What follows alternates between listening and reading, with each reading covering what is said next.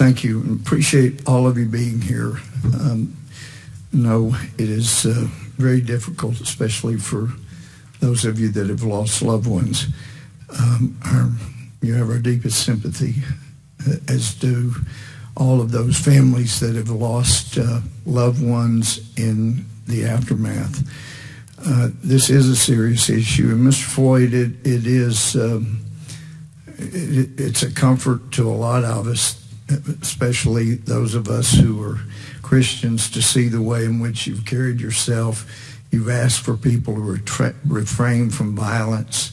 We don't need it to lead to worse violence, but uh, that that was atrocious. It's just hard to watch the video and not feel great sympathy for your brother and great sympathy for you and your family.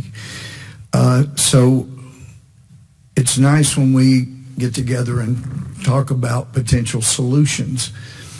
Um, hopefully, the uh, majority will allow more input uh, than the zero input we've had on the bill so far. Uh, but it also is important to look at at different proposals. We've heard some say, you know, on television, let's get rid of uh, uh, or defund the police, get rid of them.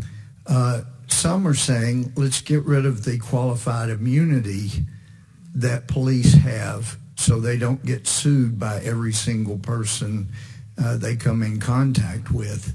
Um, as a judge, I had judicial immunity uh, and the thing is, it's a qualified immunity. And it's not there if you're violating the law, and that's as it should be.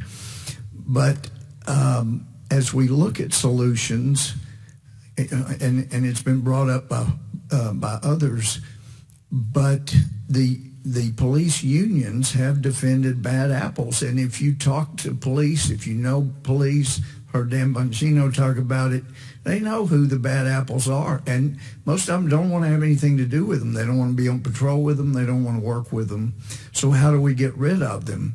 I personally have seen where um, you have a bad apple at the top, and some righteous whistleblower has retaliation against them, and the unions have come in and appropriately defended them. But uh, when it comes to eliminating qualified immunity, I've seen what uh, happened with teachers. I, I had a bill to eliminate or to create qualified immunity for teachers, educational immunity.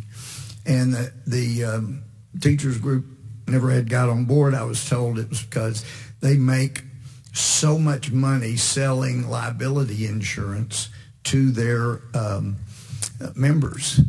And I'm afraid it might be a cash cow for the unions, but that's not what this needs to be about. Um, um, let me just ask you, Mr. Floyd, if somebody conspires to lynch somebody else, do you think a 10-year maximum sentence would be appropriate? No. Well, you, you're shaking your head. Thank you. No. Uh, okay. No. Yeah. Well, I agree with you. Bobby Rush He's a he's a fine man, a just wonderful heart, good-hearted man. He had a bill that would make a life sentence if you conspired to participate, and he was. I said, Bobby, it should be a life sentence. Why is it now 10-year max? And he said, Well, you know, I had it at at life maximum sentence, but I was told if it was going to pass the House it had to be brought down to 10 years. Well, I think that's an insult. And I know the Emmett Till bill is part of this overall bill, but I would hope we would come together and say 10 years for conspiring to lynch is not an adequate maximum punishment. Maybe it needs to be lower in a given case, but let's have life in there as a penalty, and I would hope to see that.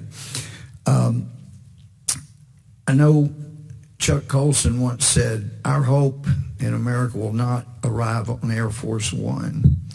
And Pastor Scott, you know, have eminent respect for you.